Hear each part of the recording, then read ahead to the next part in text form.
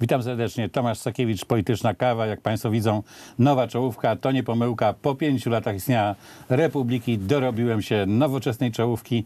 E, nie, nie mamy spotka kawy, e, znaczy kubka i spotka i kawy na początku. Za to mamy nowoczesną grafikę. E, nie wiem, czy się Państwu spodoba. Czekam na uwagi. E, I dlatego też są dzisiaj specjalni goście którzy będą w nowej oprawie występować, nowoczesnej, więc i też bardzo młodzi goście. E, Sebastian Kaleta, Komisja Weryfikacyjna do spraw warszawskiej reprywatyzacji i Ministerstwo Sprawiedliwości. Dzień dobry. Witam serdecznie. Adam Andruszkiewicz, poseł Wolnych i Solidarnych. Witam, kłaniam się. I tu mam problem z przedstawieniem. E, e, mogę powiedzieć tak, szef portalu niezależna.pl Grzegorz e, i pewne ryzyko ponoszę, podając e, nazwisko Wierzchołowski. Ja nie wiem, czy mi powinien podać Grzegorz W., a za chwilę to e, wytłumaczymy. E, chciałem zacząć od czegoś innego, niesłychanej w ogóle, nie- niewiarygodnej.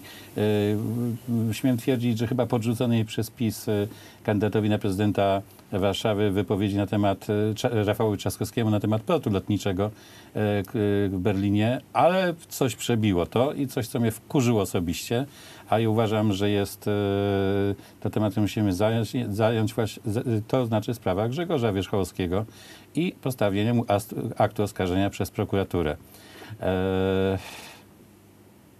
Powiedz o co tu chodzi. Chodzi o sprawę Katarzyny C., mm, działaczki ze Śląska, która miała dwa lata temu zostać wicekonsulem w Manchesterze.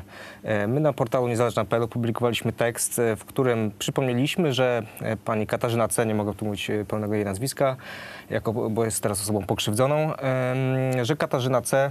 była związana z ruchem Autonomii Śląska. Co jest e, niepodważalną prawdą, bo pani Katarzyna startowała między innymi e, z poparciem e, Ruchu Autonomii Śląska na prezydenta Siemianowic Śląskich. Była w komitecie wyborczym autonomistów śląskich, została radnym, radną z tego komitetu.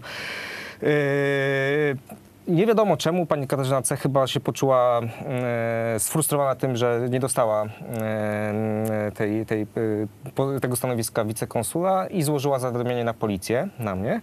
Z tego co wiem, to w ogóle działacz polityczny, już niezależnie do, do tego, jakiej partii należy, nie może zostać e, dyplomatą. Musi najpierw zrezygnować e, z polityki. No to jest chyba niemożliwe, żeby ambasadorem był czynny aktywista partii. W każdym razie yy, prokuratura zdecydowała się postawić mi zarzuty. Ja te zarzuty usłyszałem 28 maja. E, Po czym nawet nie zdążyłem złożyć żadnych wniosków dowodowych. Dwa dni potem okazało się, że prokuratura już wydała akt oskarżenia. Y, Więc w zasadzie po dwóch dniach zostałem oskarżony, nie mając żadnej możliwości nawet obrony. Czy prokurator w ogóle nie miał wiedzy nawet, czy podaliśmy prawdę, czy nie? Po Tak, prostu y, sam fakt zło- oczywiście nie mogę zawiadomienia przez panią Katarzynę C. w sprawie prywatnej, tak? Tak, dotyczącej e, zniesławienia prywatnego. Tak? Nie mogę oczywiście podać szczegółów przesłuchań, natomiast powiem, że ani razu yy, prokuratura, policja nie była zainteresowana w ogóle meritum sprawy. Znaczy nie zapytała mnie, czy yy, napisałem prawdę, czy napisaliśmy prawdę, czy mamy Bo ty jakieś nie dowody jesteś na to. autorem tego tekstu. Nie, nie, nie jestem autorem, ale odpowiadam jako redaktor naczelny. E, Także prokuratury to w ogóle prawda nie interesowała. Czuję, czuję się trochę jak u kawki, to znaczy nie wiem, za co tak naprawdę zostałem oskarżony. E, Nie, nie, nie pozwolono nam złożyć do wniosków bo dowodowych. przecież mogą cię aresztować. Zresztą nie wiadomo, czy ja po tym programie też nie będę miał zarzutów. To nie są E, żarty. tak, więc Po no, pierwsze, jest po pierwsze przedstawiasz się w tym programie, tak? A nie wiadomo, czy nie powinieneś być Grzegorzem W. Ja nie wiem, tutaj trzeba jakiegoś prawnika. Yy, Po, po, drugie, po drugie, no ja współuczestniczę w przestępstwie, bo powtarzamy, że pani Katarzyna C. była związana z ruchem autonomii Śląska. Z czym rzeczywiście jest związana, ponieważ widział to każdy, a ona się tak, tak się przedstawiała. E, Tak, no, mamy jej fotografię z panem Gorzelikiem na tle flag e, Rasiu. E, no, dowodów jest mnóstwo. Niestety prokuratura nie chciała ich przyjąć, tylko zdecydowała się od razu mnie oskarżyć. Bez zaznajomienia się z meritum. Tak, oczywiście. Muszę zapytać przedstawiciela Ministerstwa Sprawiedliwości, dlaczego chcecie aresztować Grzegorza Wierzchołowskiego?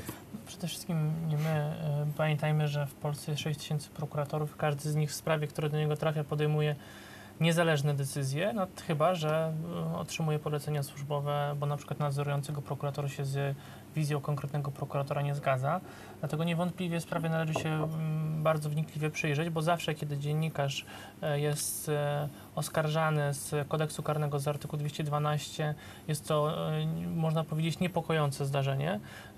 W, kontekście tego samego artykułu mówiącego o, o związkach bądź relacjach wskazanej osoby, która stara się o ważne stanowisko publiczne z konkretnym ugrupowaniem politycznym, to jest jakby wykonywanie pracy dziennikarskiej w mojej opinii.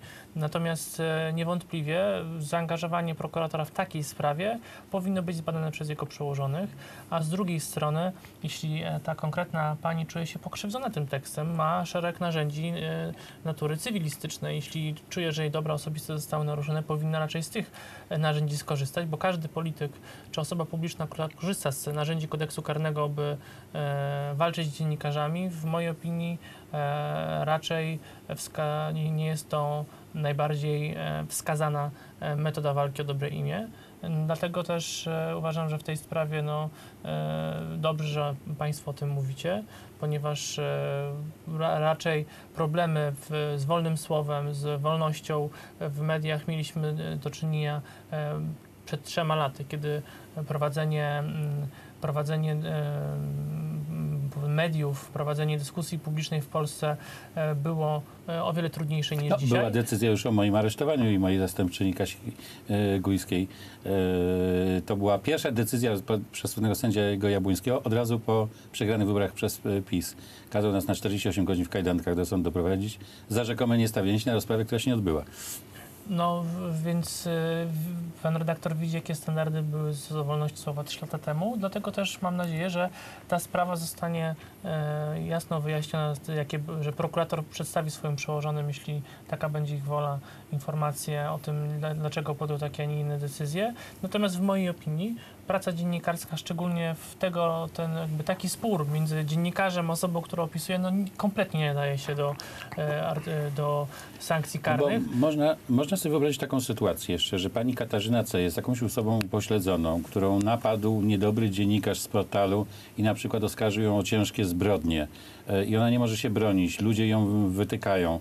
No to ja rozumiem, no udział prokuratora jest jakby tutaj wyrównaniem e, szans strony, tak? No bo ktoś, kto nie, nie stać go na adwokata, w ogóle nie wie jak napisać pismo do sądu, no to jeszcze bym tu rozumiał, no jakaś instytucja prawna, choć być może to raczej Rzecznik Praw Obywatelskich, czy ktoś taki będzie się ująć, no ale załóżmy, że instytucja państwowa e, typu prokurator staje w obronie, ale mamy do czynienia no, z politykiem, kandydatem na, na dyplomatę, e, kimś, kto na pewno z biedy nie umiera i prokurator e, nie tylko staje w jej obronie, prokurator e, e, oskarża, stawia zarzuty dziennikarzowi bez w ogóle wysłuchania strony. Czy przede wszystkim pamiętajmy, że prokurator w Polsce, taka jest rola prokuratora, jest rzecznikiem interesu publicznego. I teraz należy postawić pytanie, czy w tej sprawie konkretnej interesem publicznym jest mówienie o, o tym, jak, w jakim środowisku obraca się konkretna osoba, która stara się o funkcje publiczne, czy interesem publicznym jest wskazywanie, że dziennikarz o tym nie powinien pisać.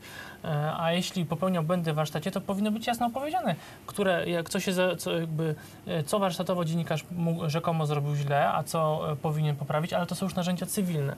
I z tego powodu e, ta sprawa jest bardzo kontrowersyjna, natomiast tak jak powiedziałem wcześniej, w, tutaj sprawa, ta decyzja została podjęta niezależnie przez prokuratora najniższego szczebla i zobaczymy, czy jego przełożeni będą chcieli w trybie nadzoru zweryfikować, czy ten prokurator postąpił prawidłowo.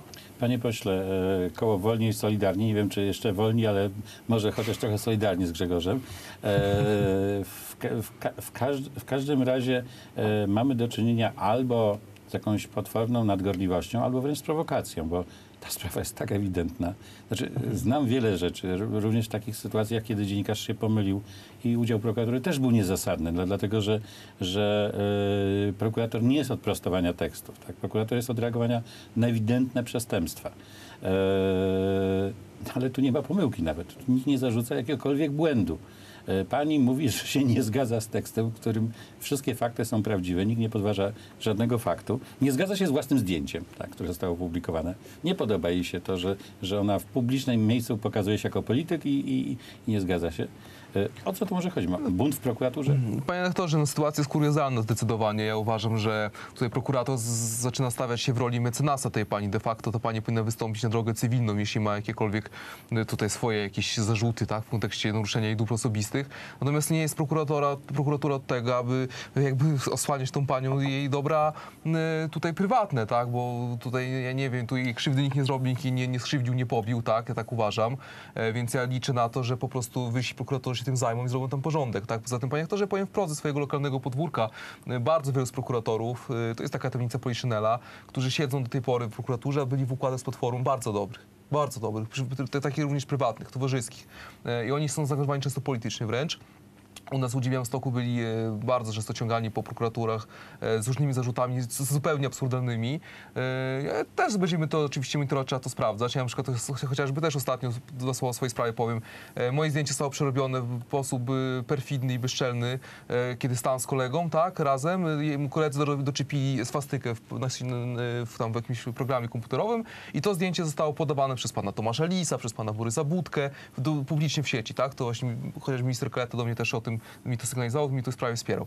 No i teraz ja też dostałem już sygnały od oficerów, którzy prowadzą, że prawdopodobnie nic w tej sprawie nie zrobią, bo nie będą w stanie namierzyć sprawców tego, tak? I po prostu wszyscy powiedzą, jest w porządku. Znaczy nie wiadomo, gdzie jest Tomasz Lis.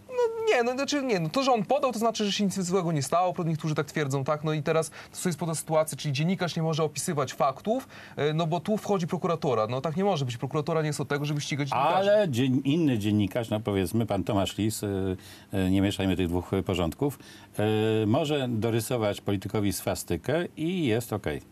Znaczy może po, powielać tą informację publicznie, a wiemy doskonale, że pana Tomasza Lisa obserwuje kilkaset tysięcy osób, więc Znaczy ja bym też był przeciwny temu, że prokuratura się tym zajmowała, natomiast ja uważam, że sąd powinien e, za coś takiego ukarać, bo co innego przypisać jakieś poglądy, nawet jakiś mundur przebrać, a co innego przypisać wprost e, statystykę, tak? Znaczy, Tak. Czyli, czyli poglądy zbrodnicze. tak jest.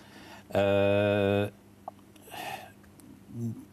czy nie przychodzi panu do głowy, że to może być jakaś prowokacja, która ma wywołać zamieszanie po prostu w obozie PiSu? No bo przecież wiadomo, no, Grzegorz Wierzchołowski jest jednak dosyć znaną postacią, a już portal Niezależna.pl jest w tej chwili największym prawicowym portalem, e, czyta go 4 miliony ludzi stale. E, uderzenie w kogoś takiego e, no, e, może spowodować e, reakcję no, wewnątrz obozu pisowskiego. Może jest po prostu zwykła prowokacja. Czy przede wszystkim e, raczej, raczej na, bez wiedzy, kim jest ten prokurator, jak trafił do tej prokuratury, nie chciałbym się wypowiadać, jakie były jego intencje. Natomiast oto właśnie to jest to zdjęcie. E, Tak, widzimy teraz zdjęcie, hanie- gdzie- hanie- Haniebna prowokacja i właśnie fake news, który był e, szerzony w, w sprawie pana posła i to, też tutaj te osoby, które powielały te, te nieprawdziwe informacje, nawet krzty honoru nie mają, żeby pana posła przeprosić e, za, za, za te, taką manipulację. Natomiast jeśli mówimy o prokuratorze, o prokuratorze w tej sprawie pana redaktora Wierzchołowskiego, to przede wszystkim e, często jest tak, że prokuratorzy nie mają świadomości tego, e, jakie ich, ich działania procesowe, jakie skutki mogą wywołać. No, w tym przypadku e, działanie tego prokuratora słusznie e, zwr- zwróciło uwagę opinii publicznej, ponieważ każdy dziennikarz, który jest oskarżany z tego artykułu, e, powinien e, o tym informować, e, ponieważ jego pracą jest mówienie o, o, wątp- również nie, nie, niewygodnych dla polityków sprawach. I dlatego też, czy to była prowokacja, czy nie, jest za wcześnie, natomiast niewątpliwie należy tej sprawie się głębiej przyjrzeć i to nie powinni, powinni przede wszystkim zrobić przełożenie tego prokuratora, ponieważ zawsze taka decyzja w kierunku dziennikarza w takim kon- kontekście e, będzie budziła wątpliwości i słusznie budzi wątpliwości. Tu jeszcze chcę dodać, że paranoją jest, że przez dwa lata aparat państwowy się taką sprawą zajmuje, że zaangażowana jest to policja, prokuratura, e, jakby nie było innych ważniejszych spraw, zamiast ten spór czy tę wątpliwość wyjaśnić na, na sali sądowej. No, to też ciekawe, jakimi sprawami się nie zajęli. Praga ciągle chyba nie jest takim ideałem bezpieczeństwa, chociaż już jest trochę lepiej, bo to prokuratura Warszawa-Praga się tym e, zajmuje. E, to pytanie, jakimi sprawami się nie zajęli w tym czasie, kiedy, kiedy zajmowano się e, szefem portalu niezależna.pl. Chociaż być może tutaj z pewną ulgą można powiedzieć, oni tak kompletnie nie chcieli się zapoznać z tym materiałem, że być może im to dużo czasu nie, nie zajęło, bo, bo zarzuty postawili ciągu dwóch dni. w ciągu dwóch dni. Znaczy nie, nie akt oskarżenia. Akt oskarżenia. Dwa dni po, po, po, Po- po tym, jak usłyszałem zarzut. zarzuty. No to, to w ogóle jest nie, niebywałe. To tak jakby akt oskarżenia był chyba wcześniej napisany, chyba że po nocach pisali, bo to zdaje się, chwilę trwa. No może mają wielkie doświadczenie w tych aktach oskarżenia. Czy pamiętajmy o tym, że po postawieniu zarzutów osoba, która ma postawione zarzuty, zgodnie z prawem ma prawo złożyć wnioski dowodowe i e, te wnioski dowodowe, jeśli są zasadne, powinny być przeprowadzone, bo a nuż e, osoba, która ma postawione zarzuty jest w stanie przedstawić wiarygodne dowody, które wskazują, że do, do popełnienia przestępstwa nie doszło. My dwa dni przedstawiliśmy takie e, wnioski, i to tylko jest, że I to jest zastanawiające, że dwa dni wystarczyło prokuratorowi, żeby w ogóle ocenić, że już wie wszystko, niezależnie od tego, jakie wnioski No, dowodowe świeciło przedstawił podejrzany. Ja ostatnio byłem w sądzie i, i jako przedstawiciel spółki, która reprezentuje Niezależna.pl e, z powództwa pani ze, ze służb specjalnych e, i sąd w zasadzie nie był zainteresowany, odmówił mi ostatniego słowa, to się inaczej nazywa w prawie cywilnej, no ale umownie ostatniego słowa, a moją swobodną wypowiedź przerwał, bo, bo też nie był zainteresowany, e, ponieważ byliśmy oskarżeni o to, że jej, e, jako pierwsi opublikowaliśmy jej nazwisko. Okazało się, że nie, ale sąd nie pozwolił mi tego powiedzieć. E, No i kazał nam przeprosić. Na szczęście odrzucił e, wnioski finansowe. No to już a propos tego, jak w sądzie można wnioski dowodowe. Po prostu sąd nie ustalił podstawowego faktu, tak, który był przedmiotem oskarżenia. Nie chciał tego usłyszeć. Ale teraz przejdziemy do spraw spokojniejszych. Pojedziemy do Berlina, to już w drugiej części, gdzie będzie polskie lotnisko zdaniem Rafała Trzaskowskiego, bo w Warszawie już jest niepotrzebne.